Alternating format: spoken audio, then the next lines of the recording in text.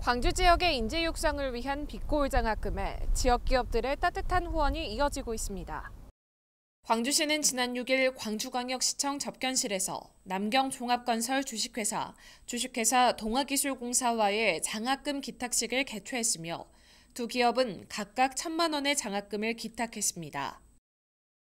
남경종합건설 주식회사는 지난 2004년부터 올해까지 4회에 걸쳐 3,300만 원의 장학금을 후원했으며 주식회사 동아기술공사도 지난 2004년부터 8회에 걸쳐 7,300만 원의 장학금을 기탁하며 나눔의 손길을 이어왔습니다.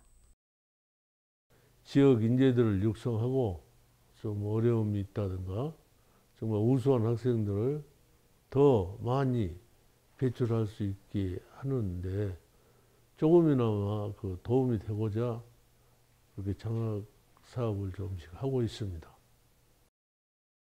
기탁받은 장학금은 1981년 무등 장학회로 시작한 빛고울 장학재단을 통해 생활 형편이 어렵거나 우수한 지역 인재들에게 지원될 예정입니다. 한편 빛고울 장학재단은 지난해 258명의 중고 대학생들에게 장학금 2억 4,700만 원을 지급했습니다. 따뜻한 나눔이 광주의 미래를 이끌어갈 학생들에게 꿈을 펼칠 수 있는 자양분이 되기를 소망해 봅니다. 인공지능 중심 도시에서 Hello 광주 정지현입니다.